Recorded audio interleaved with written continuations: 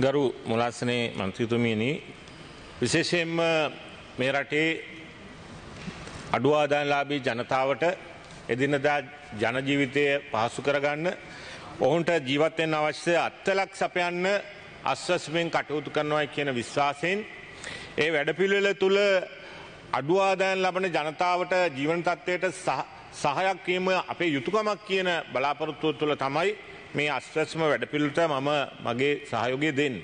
ඒ වගේම අනිත් පැත්තෙන් මේ වැඩපිළිවෙලට විපක්ෂ නායකතුමා කිව්වා මේ පනතට විරුද්ධව නම් දෙකක් කියලා කටයුතු කළා කියන කාරණා අපේ පාලිමේන්තු මන්ත්‍රීවරු ඇමතිවරු.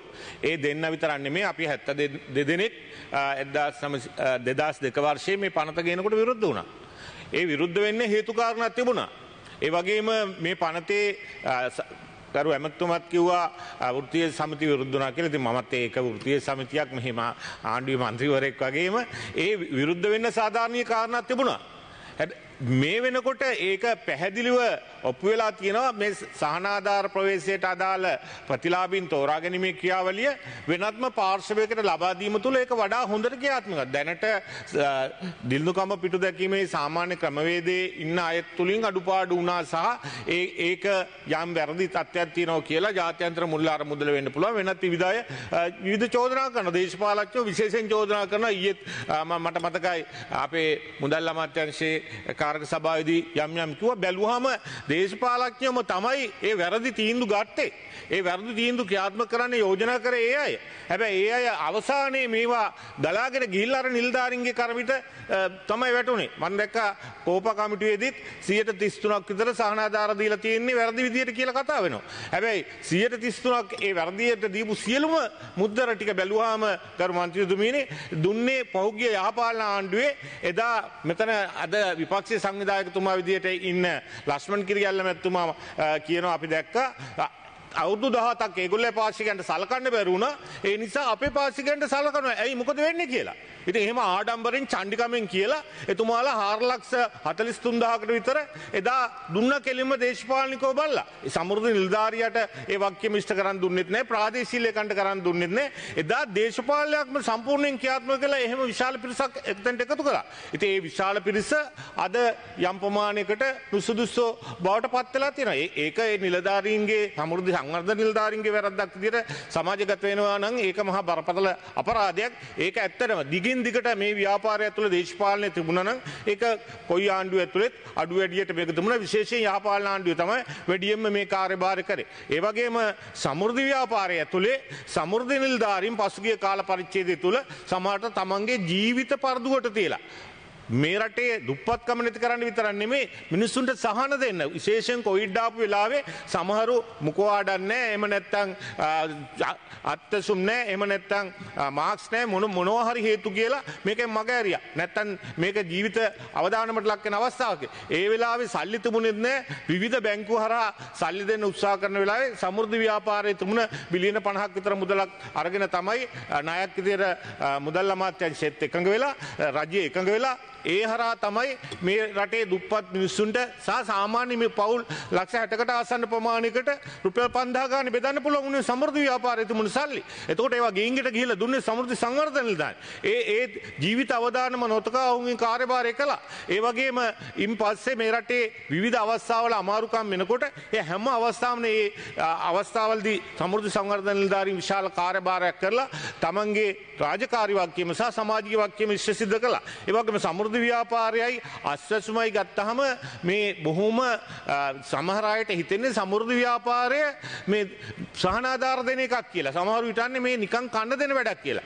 සමෘද්ධි ව්‍යාපාරයෙන් බොහොම පුංචි කොටසක් තමයි දැන් මේ අස්වැතුම යටතට යන්නේ. සමෘද්ධි ව්‍යාපාරයේ 100න් නම් 100න් 100ට 10ක් විතර අස්වැතුමේ තියෙන්නේ සහනාධාර ප්‍රවේශය විතරයි. ඉතින් සහනාධාර ප්‍රවේශය සුදුස්සන්ට දෙන එකත් නුසුදුස්සන්ගෙන් ඉවත් කරන කටයුතු කිරීම පිළිබඳ අපිට කිසි තර්කයක් නැහැ අපි ඒකට එංගකයි.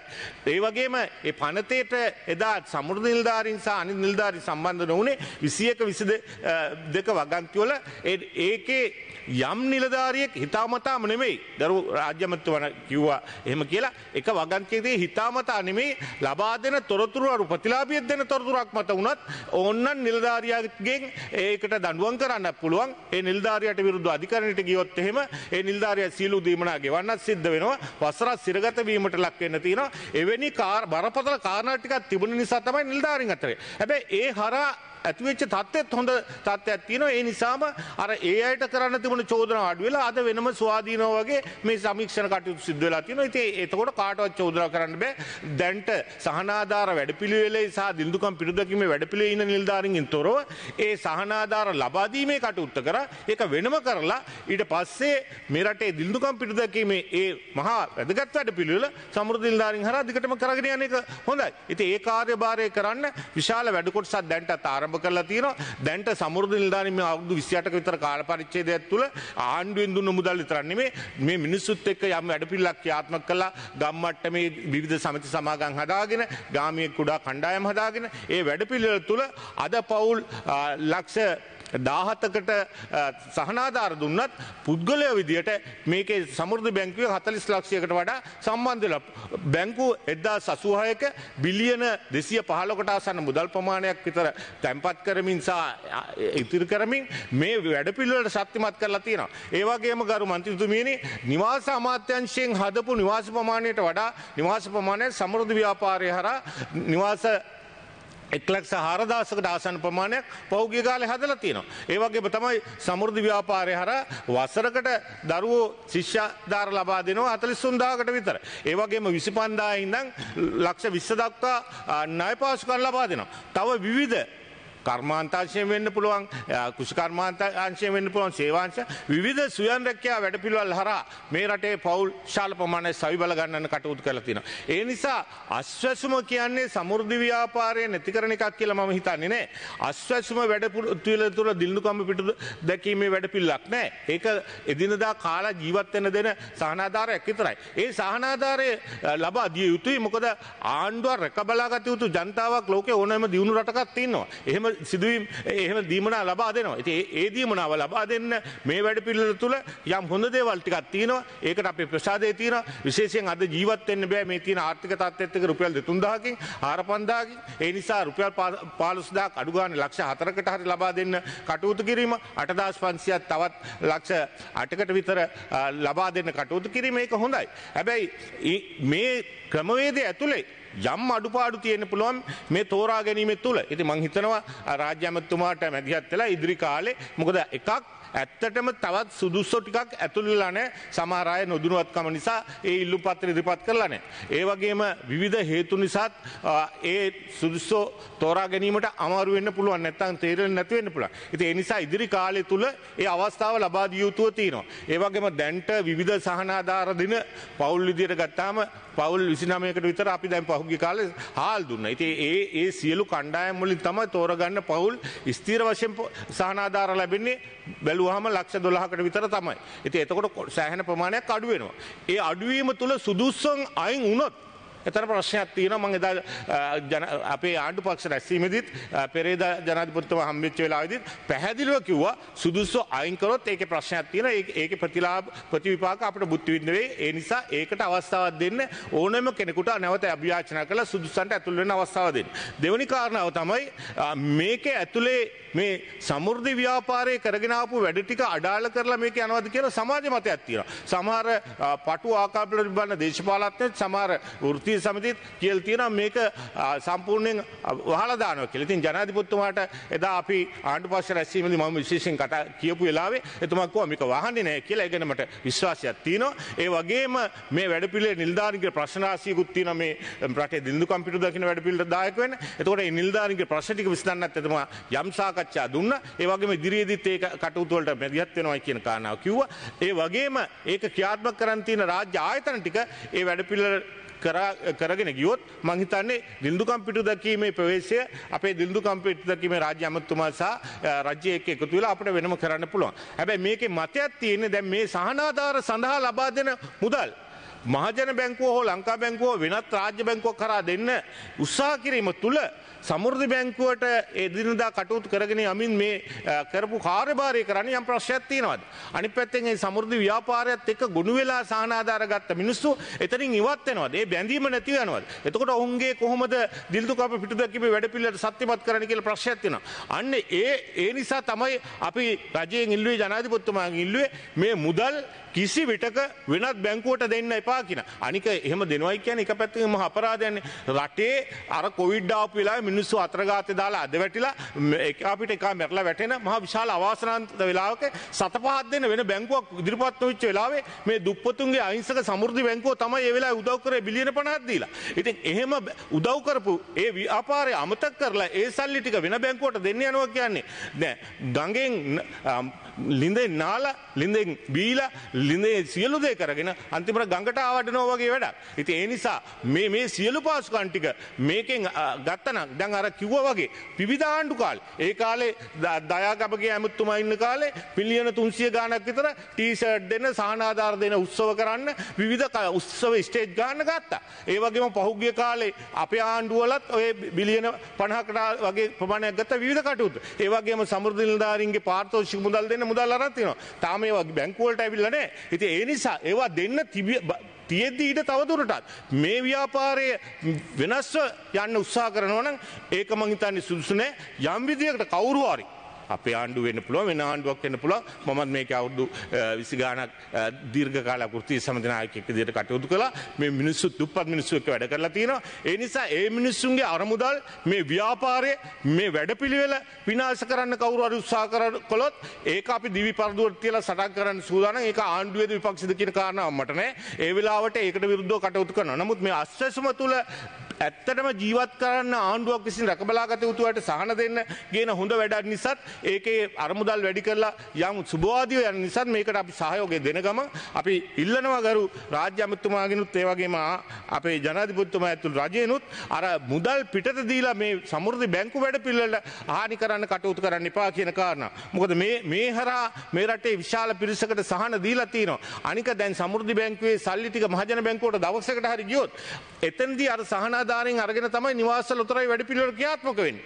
ඒ වගේම අනිවාර්ය ඉතිරි කිරීමේ වැඩපිළිවෙල ක්‍රියාත්මක වෙන්නේ. ඒ වගේම සමාජ සංවර්ධන වැඩපිළිවෙල පවුලේ දරුවෙක් ලැබුණාම රුපියල් 10000ක් දෙනවා. දරුවෝ තුන් දෙනෙක් ආවොත් 20000ක් දරුවෝ ඒ පවුලට ලබා දෙනවා. මරණයක් වුණාම 20000ක් ලබා දෙනවා. මේවා පහුගිය කාලේ පැසිල් ඇමතුමා ඉන්න කාලේ අපි කතා කරලා වැඩි කරගත්ත දේවල්. ඉතින් ඒ ඒ දුප්පත් මිනිස්සු වෙනුවෙන් කරපු විශාල වැඩ කොටසක් තියෙනවා. ওই සහනාධාර වලට අමතරව සමාජ ආරක්ෂණ සහ නිවාස වැඩපිළිවෙලත් එක්ක ඒ නිසා ණය පාසුකම් එක්ක මේවා සමෘද්ධි ව්‍යාපාරයේ තියෙන විශාල මුදල් ප්‍රමාණයක් ආණ්ඩුවේ නෙමෙයි. හැබැයි ඒ මුදලින් විශාල පවුල් ප්‍රමාණයක් අපි ශක්තිමත් කරලා තියෙනවා. ඒ වගේම හෙට දවසේ මේ රටේ දිල්දුකම් පිටු දැකීමේ හැබෑ වැඩපිළිවෙලක් යනවා නම් මේ වැඩපිළිවෙලේ අත්දැකීම් සහ පළපුරුද්ද සහ සම්පත් ප්‍රයෝජනට ගත යුතුව තියෙනවා. එවැනි තත්ත්වයක් තුළ ඒ ඒ ව්‍යාපාරය ආපු වැඩපිළිවෙලට පයින් ගහලා යන්න කාටවත් පුළුවන්කමක් ඇති වෙන්නේ නැහැ කියලා මම විශ්වාස කරනවා. විපක්ෂයෙන් බිල් ඔමාන හැදුවත් ඒ තරමට මේකේ බිල් එක නැහැ කියලා මම හිතනවා. හැබැයි අපිට පැහැදිලි කරගත යුතු දේවල් තියෙනවා. අපි විශේෂයෙන්ම මේ වැඩපිළිවෙල දියාරු නොකර ඉස්සරහට යන ගමනකට දායක වෙනවයි කියන කාරණාව රජයක් විදිහට අපි හදා ගන්න ඕනේ. ඒ වගේම අනිත් පැත්තෙන් අපිට මේ රටේ දුප්පත් ජනතාවගේ අයිතිවාසිකන් ගැන කතා කරනකොට ඒ සහනාධාරය ඉස්රාට යන්න වැඩපිල්ල ක්‍රියාත්මක වෙනකොට ඒ සහනාධාරය තුළින් සමහර අය අපිට කවදාවත් සවි බල ගන්න පොඩුවන කමන්න දැන් වකුගඩු ආධාර ගන්න කෙනෙක් එහෙම නැත්තං ආබාධිත කෙනෙක් වැඩිහිටියෙක් කවුදු හැත්තාවකට වැඩිය අය එම ඒ අය අපට කවදාව සවි බල ගන්නන්නත් බෑ ඔවුන්ට වෙනම වැඩ පිළිගන්න. ඒවා අනිවාර්යම ඒවා හරණ සමාස්‍යවා දෙපාර්තමීන්තුව යටතේ සහනාධාර දිගටම දීගෙන යන්න ඕන ජීවත් ඉන්න තාක්කල් ඔවුන්ට ඒ ප්‍රශ්න තියෙන තාක්කල්. අනිත් පවුල් ටික තමයි අපිට සවිබල ගැනීම සඳහා දායක වෙන වැඩපිළ. හැබැයි ඒක සඳහා වෙනම අරමුදල් වෙන්වෙන්නත් ඕන ඒක සඳහා වැඩපිල්ලක් ක්‍යාත්මක වෙන්නත් ඕන. ඉතින් ඒ වැඩපිළිවෙල සඳහා ක්‍රියාත්මක වෙන්න මේ රට පුරාම ශක්තිමත් ජාලයක් සමුද්‍ර ව්‍යාපාරය තියෙනවා. ඒ ශක්තිමත් ජාලයේ තියෙන වැඩපිළිවෙල මේ අද තියෙන මේ අද ඇවිල්ලා තියෙන අස්වැසුම වැඩපිළිවෙලත් සත්‍යයක් කරගෙන යනවා මිස අස්වැසුම වෙනම ගිහිල්ලා එහෙම නැත්නම් සමෘද්ධි ව්‍යාපාරය වෙනම ගිහිල්ලා යනවායි කියන එක මම හිතන්නේ වඩා හොඳ තත්ත්වයක් නෙමෙයි අස්වැසුමේ සහනාධාර ක්‍රමවේදය තුල සහනාධාර ප්‍රතිලාභියා ගන්න එක කිසි ගැටලුවක් නැහැ වෙනම ගන්න. හැබැයි ඒ අයට යම් බැඳීමක් අනිවාර්යයෙන්ම සමෘද්ධි බැංකුවත් එක්ක සමෘද්ධි වැඩපිළිවෙලත් එක්ක තියෙන්න ඕන මොකද ඒ අයගෙන් කොටසක් අනිවාර්යයෙන්ම ආර්ථික වශයෙන් ශක්තිමත් කරන්නේ නැතුව අපිට රටක් විදියට ඉස්සරහට යන්න බෑ. ඉතින් ඒ රටක් විදියට ඉස්සරහට යන වැඩපිළිවෙලේ අපේ නායකත්වය ගන්න ව්‍යාපාරය විදිහට සයිබල ගැනීමේ අමාත්‍යංශය අනිවාර්යයෙන්ම මුදල් අමාත්‍යංශයත් එක්ක එකඟතාවකට ඇවිල්ලා එක් පැත්තකින් මේ වැඩ කරන කැපවෙලා වැඩ කරන ජීවිත පරදවිත තියලා කටයුතු කරපු සමෘද්ධි සංවර්ධන නිලධාරීන්ගේ ඒ රැකියා සුරක්ෂිතතාවය සහ ඔවුන්ගේ අපේක්ෂාවන් ඉෂ්ට සිද්ධ කරන්න ඕන. ඒ වගේම අනිත් පැත්තෙන් අපිට වගකීමත් තියෙනවා මේ රටේ ඒ දිල්දු මුතුමත්තා මිනිත්තු දෙකක කාලයක් ඒ තියෙනවා. වැඩ පිල්වල ශක්තිමත් ඉස්සරහට ගෙන යන්න. පහුගිය කාලේ අපි දිගින් දිගටම කතා කළේ මේ වැඩපිල් මේ වැඩපිළිවෙලේ අඩුපාඩු. එහෙම නැත්නම් මේ වැඩපිළිවෙලේ තුල දේශපාලනය ගැන. හැබැයි දේශපාලනය ඔය කොයි ආණ්ඩුව ඇතුළෙත් ඒකට ගෙනාව. ඒ වැඩියම්මගේ දේශපාලන ගෙනාව යහපාලන ආණ්ඩුව. හැබැයි මේ වැඩිපිළිවෙල සාධනීය ලක්ෂණ කවුරුවත් කතා කරන්නේ නැහැ. මතයක් විදියට කියන්න උත්සාහ කරන්නේ මේ වැඩිපිළිවෙල හැම තිස්සේම නිකං කන්න දෙන වැඩපිළිවෙලක් කියලා. නෑ මේක නිකං කන්න දෙන වැඩපිළිවෙලක් නෙමෙයි සමෘද්ධිය. ඕන අස්වැසම නම් කියත හැකි නිකං කන්න දෙන එකක් කියලා. ඒක කන්න දෙන එක විතරයි කරන්නේ. හැබැයි ඒකත් කරන්න ඕන රටක. ඒ නිසා අස්වැසුම හිම යන්න දෙන්න කියන ගමන් මං කියන්නේ ඒකේ යම් සම්බන්ධයක් ඇති කරලා ඒක නිකම්ම කන්න දෙන එක නෙමෙයි ඒකෙනුත් සමෘද්ධියත් එක්ක එකතු කරලා ජීවන තත්ත්වය උසස් කරලා ආර්ථික වශයෙන් ශක්තිමත් කරන සයිබල ගන්නීමේ වැඩපිළිවෙලක් ක්‍රියාත්මක වෙනවා කියන කාරණාව අපි තහවුරු කරගත්තොත් තමයි අපේ රටේ හිට දවසේ යහපත් වෙන්නේ අහිංසක දිලිඳු ජනතාවගේ අනාගතය සුරක්ෂිත වෙන්නේ. අන්න ඒ ගමන් මගේ අපි ආණ්ඩුවක් විදියට පරණ අඩුපාඩු හදාගෙන අනිත් පැත්තෙන් බැංකු ගැන කියනකොට ගරු ඇමත්තුමා මතක් කළේ මේකේ තාම විනිවිධභාවයක් නෑ අඩුපාඩු තියෙනවා කියලා. අපි මං හිතන්නේ එහෙම තියෙනවනම් හදාගන්න ඕන. හැබැයි සමාජයට රටට මතයක් යන්න බෑ මේ සමුෘද්ධි බැංකු දූෂණය වෙලා අඩුපාඩු තියෙනවා ක්‍රියාත්මක වෙන්න ඒකට ඒක තාම තාම අඩුම පාසුකම ඇති. යම් මට්ටමේ පාසුකමක් එක්ක යම් විදිහකට වැඩ කරන්න පුළුවන්. සමෘද්ධි බැංකුව හරහා බොහෝ දේ අද කරගෙන යනවා. පහුගිය කාලේ දැන් අපි වැඩිහිටි ආධාර දෙන්න එපා කියද්දිත් ඒකෙන් දුන්නා. ඉතින් එහෙමනම් ඒ වැඩපිළිවෙල ක්‍රියාත්මක කරන්න බැරි කමන්නේ. ඒ වැඩපිළිවෙල ක්‍රියාත්මක කරන්න පුළුවන් අඩුපාඩු හදන එක සහ සංවර්ධනය කරන එකේ වගකීම තියෙන නිලධාරින්ගේ අතේ නෙමේ රජයේ සහ අමාත්‍යංශය අතේ කියමින් බොහොම ස්තුතියි වෙනවා. මේ අවස්ථාව ලබා දීම පිළිබඳව. බොහොම ස්තුතියි ගරු මන්ත්‍රීතුමා.